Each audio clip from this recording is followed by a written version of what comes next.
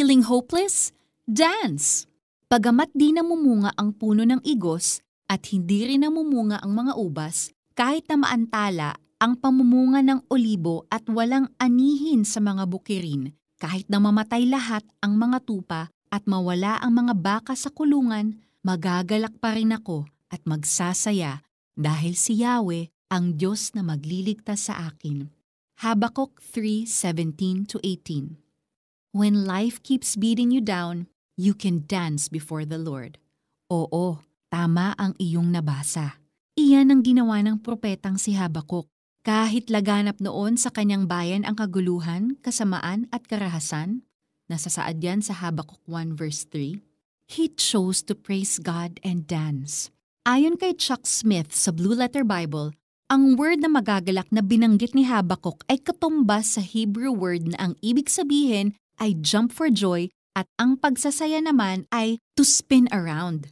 Kung iyong babasahin ang story ni Habakuk, you will discover that he lived in the time of Israel's immorality, injustice, and idolatry. And he was complaining to God dahil parang wala namang ginagawa si Lord about it. But God revealed that he is working out something. Pinanghawakan ni Habakuk ang sinabi ng Diyos kahit hindi na ito naiintindihan and everything seemed like a mess at that time. Ganoon na lamang ang hope at confidence ni Habakuk na ililigtas sila ng Diyos dahil nangako ang Diyos na meron siyang gagawin bagamat hindi ito agad mangyayari. Sabi yan sa Habakuk 2 verse 3.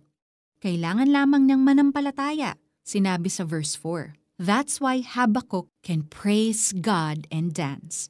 Sure siya that even though everything fails, He will never fail them. At tulad ni Propetang Habakuk, you also have the reason para magdiwang at sumayaw because of what Jesus, our living hope, has done.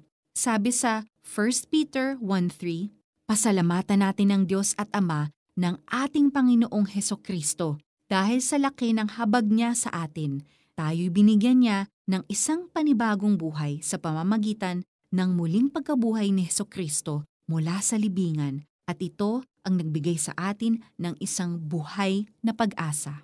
Dahil sa muling pagkabuhay ni Jesus, tayo ay binigyan niya ng bagong buhay.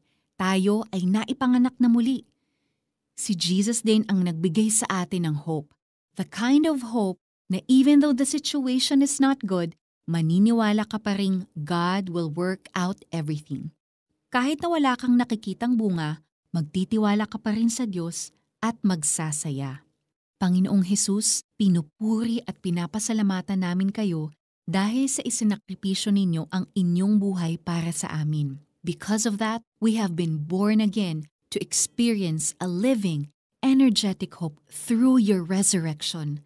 Kahit anumang dagok o pagsubok ang dumating, kagaya ni Habakuk, kami ay magsasaya, magagalak at papupurihan kayo dahil alam namin na kayo ang aming kasama at may ginagawa kayong mabuti para sa amin.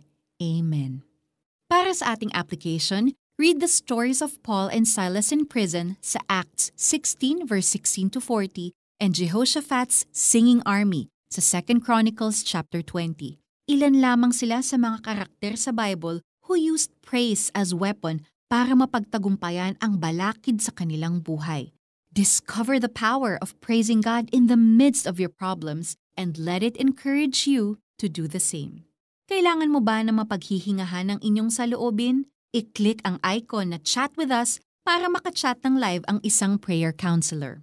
Pagamat di namumunga ang puno ng igos at hindi rin namumunga ang mga ubas, kahit na maantala ang pamumunga ng olibo at walang anihin sa mga bukirin, kahit na mamatay lahat ang mga tupa at mawala ang mga baka sa kulungan, magagalak pa rin ako at magsasaya dahil si Yahweh ang Diyos na magliligtas sa akin. Habakuk 3:17 18